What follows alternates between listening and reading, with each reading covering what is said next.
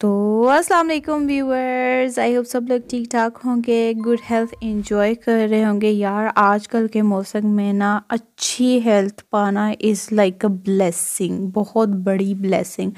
मतलब यार, आजकल लोग बहुत ज़्यादा बीमार हो गया। पता नहीं, अल्लाह ताला की तरफ़ से कोई आजमाइश चल रही है या क्या चल रहा है, मुझे तो कुछ समझ नहीं आ रहा। जो देखो, दूसरा बंदा बेचारा जो है बीमारी से, मुसीबतों से जूझ रहा है। एनी ये थी जी हमारी स्कूल से वापसी और वापसी पे ऑब्वियसली मेरा मेरा जो चक्कर है वो लगते ही लगता है, गौर में फजल फार्मेसी या इस तरह करके। तो एनीवेज आज हम गए थे जी ब्रेड ख़रीदने और साथ में जी मैंने ख़रीदने थे, क्या कहते हैं, राइस, इनाम चावल ख़रीदने थे इंसाफ करियाना स्टोर से और यहाँ से एचबीएल से मैं गुज़र रही थी तो मैंने देखा यहाँ पे जनानियों का समंदर था। मतलब वो जो कहते हैं ना वो चैरिटी वाले जो पैसे मिलते हैं, बेनज़ीर इनकम सपोर्ट के तो ये वो वाले पैसे आए हुए थे और इन लोगों को देख के वाकई मैं सोच में पड़ जाती हूँ कि दुनिया बेचारी लाइक किन किन हालात से गुजर रही है। हम लोग तो हैं तो माशाल्लाह अच्छा खा पी रहे हैं, हमें इतना फील नहीं होता, लेकिन बेचारे कुछ लोग होते हैं ऐसे।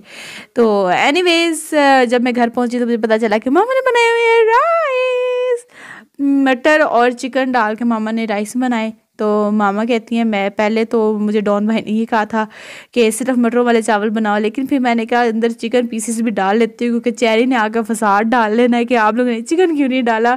Chicken is very important for Cherry और चिकन के जो प्राइजेज़ आजकल चल रहे हैं ना यार बहुत ज़्यादा महँगाई हो गई, चिकन को महँगा नहीं होना चाहिए। मैं बता रही हूँ किसी सूरत भी। एनीवेज उसके बाद मैंने बनाई जी चाय, मज़े मज़े की चाय, सब्ज़ी, इलायची डाल के। तो मैंने कहा, ज़रा अपने व्यूअर्स को दिखा लूँ, कितनी मेहनतें करती हूँ मैं, क्या क्या काम करती हूँ।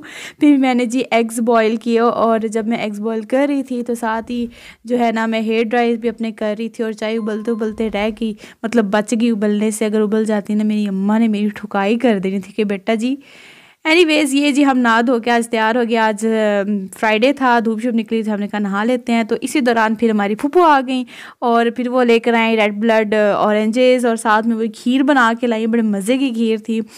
तो एनीवेज आज ये हुआ है कि आज मेरे अपने स्कूल के अंदर एक बच्ची मेरे पास आई, मुझे जाके कहती है, मैम, आप चेहरी हैं ना?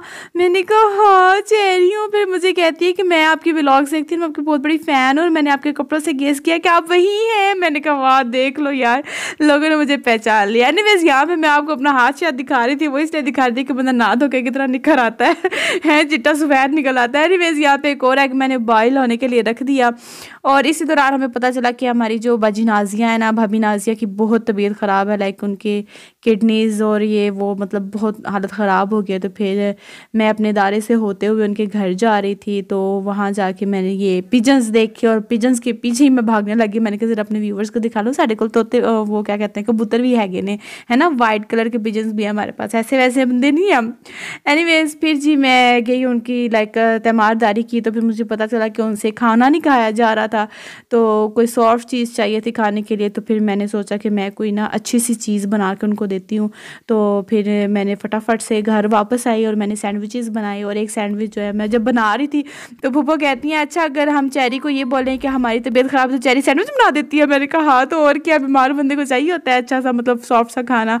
तो वो कहने लगी चेरी मेरी भी बड़ी तबीयत ख़राब है मुझे भी एक सैंडविच बना के तो फिर मैंने उनको एक बना के बहुत हँसी मज़ाक वाली बात बताओ, वो ये हुआ है कि टिश्यू रोल हमारा पास पड़ा हुआ था। डोन भाई टिश्यू निकालने लगे और क्या हुआ कि सारा रोल नीचे गिर गया और इतना लंबा टिश्यू खुल गया यार, क्या करती हो? यार, इतनी हँसी आई है मुझे तो देख के। बड़े आराम से खड़े के कह रही है ओह शिट मैंने क्या पता नहीं इसको क्या हुआ है। देखा तो ये सारा रोल खुला पड़ा था। यार, अगर आगे पीढ़ी ना ना होती और ये दूर तक ऐसे गिरता जाता है। ये सारे ही खुल जाना था। तो आई होप आपको मेरा नन्ना मुन्ना सब प्यारा से मिनी व्लॉग पसंद आया अगर पसंद आया तो do like it do share it and do subscribe my channel don't forget to press the bell icon and do comment your views क्या क्या आप सोचते हैं या मेरी बातों से कोई आपकी राय मिलती जुलती है या कोई डिफरेंट है या अपोजिट है तो you can comment and you can तो व्यूअर्स सबसे अच्छी बात ये है कि आप मुझे अब फॉलो कर सकेंगे फेसबुक पर टिकटॉक पर और इसके साथ साथ इंस्टाग्राम पर और यूट्यूब पर मुझे सब्सक्राइब करना मत भूलिएगा। And thank you so much for supporting me